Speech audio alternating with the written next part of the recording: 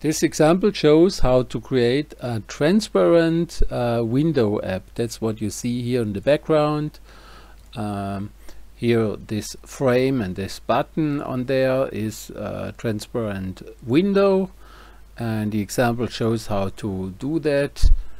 Uh, what you have to do in this point is when you're in your app you have to say uh, here allow transparency to true um, but this is default then the background should be transparent and the window style should be none.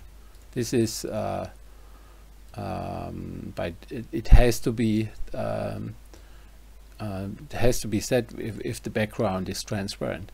And the grid itself is also uh, transparent. Mm, what happens on that point also is that if you do that and if you render your application in this case what that's what I do now and I'm rendering it in this example and you will see that the visuals uh, visual element is only rendered to the background and the background is in, uh, not transparent rendered this uh, belongs to the WPF and UWP uh, applications.